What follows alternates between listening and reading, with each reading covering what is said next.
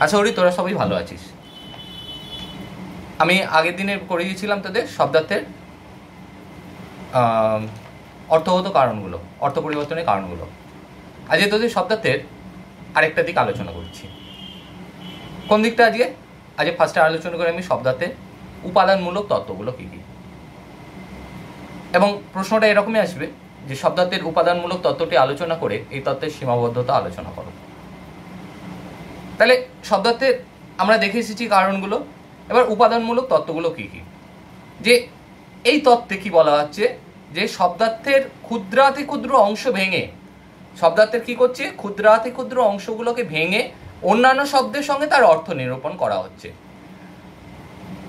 প্রত্যেকটা শব্দের মধ্যেই, শব্দই হচ্ছে কিছুগুলো অর্থ উপাদানের সমষ্টি থাকছে।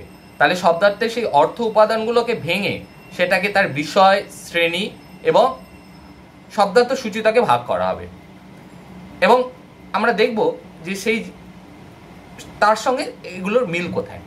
যেমন আমি তিনটে উদাহরণ ধরি। তোরা তিনটে কলাম করবি। কলাম করে একটাতে স্তম্ভ ওয়ান স্তম্ভ টু স্তম্ভ থ্রি স্তম্ভ ওয়ানে ফার্স্টে লেখ, বৃদ্ধ। যদি উদাহরণটা দেখাই, বৃদ্ধ। স্তম্ভ টুতে বৃদ্ধা। স্তম্ভ থ্রিতে শিশু। তাহলে বৃদ্ধ, বৃদ্ধা, শিশু। পরেরটাতে লেখ সিংহ, সিংহী, সিংহ শাবক।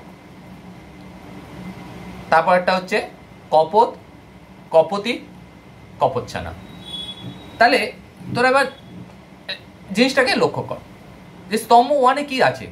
স্তম্ভ ওয়ানে আমরা কি পাচ্ছি? বৃদ্ধ, সিংহ, কপত। স্তম্ভ টুতে পাচ্ছি কি? বৃদ্ধা, সিংহী, কপতি। আর স্তম্ভ থ্রিতে পাচ্ছি কি? শিশু, সিংহ, শাবক, কপচ্ছানা। তাহলে প্রথম স্তম্ভের যে শ্রেণীটা, এটা কি হচ্ছে? পুরুষ জাতীয় এবং প্রত্যেকেই প্রাপ্তবয়স্ক। দ্বিতীয় স্তম্ভের শ্রেণীটা, এটা নারী জাতীয় এবং প্রাপ্তবয়স্ক। তৃতীয় স্তম্ভের শ্রেণীটা, এটা পুরুষ ও নারী জাতীয় এবং প্রত্যেকেই কিন্তু অপ্রাপ্তবয়স্ক। তাহলে এই যে উপাদানমূলক তত্ত্ব, এই উপাদানমূলক তত্ত্বের সীমাবদ্ধটা কি? এই তত্ত্ব কিন্তু সব ধরনের শব্দার্থে ব্যাখ্যা দিতে পারছে না।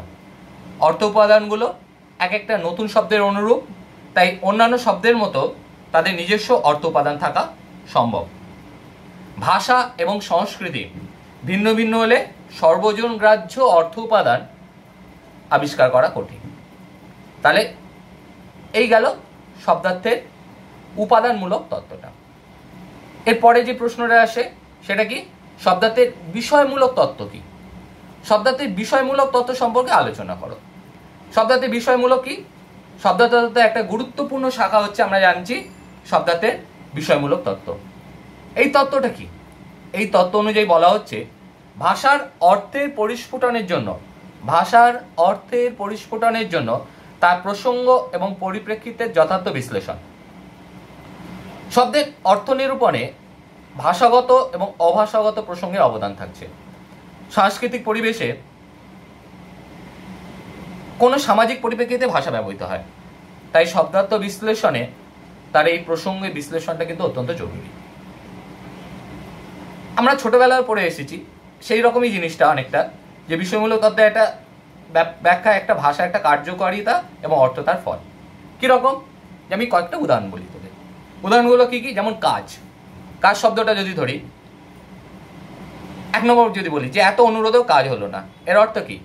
কাজ মানে হচ্ছে ফল। বেশি কথায় কাজ নেই। আসল কথা বলো। তাহলে বেশি কথায় কাজ নেই, আসল কথা বলো অর্থে কাজে কোনো লাভ নেই। এখন একটা কাজ জোটাতে পারলাম না। কাজ অর্থে এখানে চাকরি। নেই মানে পায়ে কাজ অসাধারণ। সেখানে কাজ অর্থে শিল্প। কাজ করে করে ক্লান্ত হচ্ছি। কাজ অর্থে পরিশ্রম। তাহলে এই যে বিষয়মূলক তত্ত্ব এই প্রসঙ্গতে আমরা কি বোঝাবো? যে অংশগ্রহণকারীদের ভাষাগত এবং অভাষাগত কার্যকলাপ, সংশ্লিষ্ট বস্তুসমূহ ভাষাগত কার্যকলাপের প্রভাব, ভাষার সামাজিক উপাদানের দুটো দিক। অন্য ব্যক্তির ওপর তার প্রভাব এবং ব্যক্তির পরিবেশের ওপর তার প্রভাব। এই গেল তোদের দুটো প্রশ্ন। একটা হচ্ছে শব্দার্থের উপাদানমূলক তত্ত্ব আর একটা হচ্ছে শব্দার্থের বিষয়মূলক তত্ত্ব।